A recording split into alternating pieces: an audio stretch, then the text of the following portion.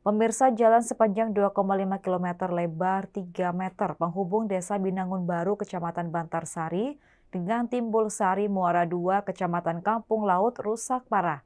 Sejak tahun 90 hingga saat ini jalan belum tersentuh pembangunan.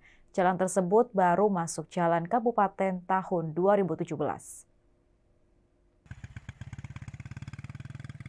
Warga Muara II Desa Panikel Kampung Laut keluhkan jalan lingkar timur Binangun Baru, jalan penghubung dari Binangun Baru Desa Binangun, Kecamatan Bantar Sari menuju Dusun Timbul Sari dan Dusun Muara II Desa Panikel Kampung Laut rusak parah.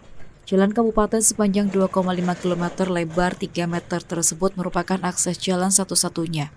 Jalan menuju Kecamatan Kawunganten dan Sidarja. Jalan tersebut masuk menjadi jalan kabupaten baru pada tahun 2017. Namun sejak dibangun tahun 1990 hingga saat ini belum pernah tersentuh pembangunan. Kondisi jalan parah selain banyak lubang besar jika turun hujan, jalan bercampur lumpur dan sangat licin. Jalan rusak mempengaruhi perekonomian setempat.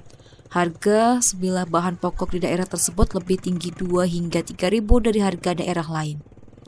Menurut Kades Panikel Kampung Laut Sumario, pemerintah desa sudah mengajukan ke Dinas PUPR Kabupaten. Namun karena sedang pandemi COVID-19, hingga saat ini belum terrealisasi.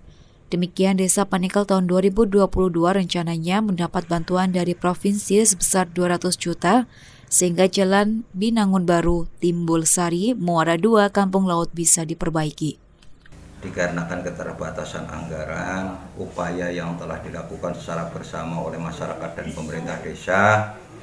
Alhamdulillah untuk tahun kegiatan 2021 Panikel khususnya di ruas tersebut mendapatkan bantuan gubernur atau bantuan provinsi yaitu sebesar 200 juta.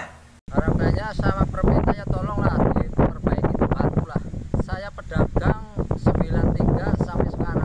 harapannya saya mohon sama pemerintah ya tolong dibangun. Dari Cilacap, Yana Banyumas TV melaporkan.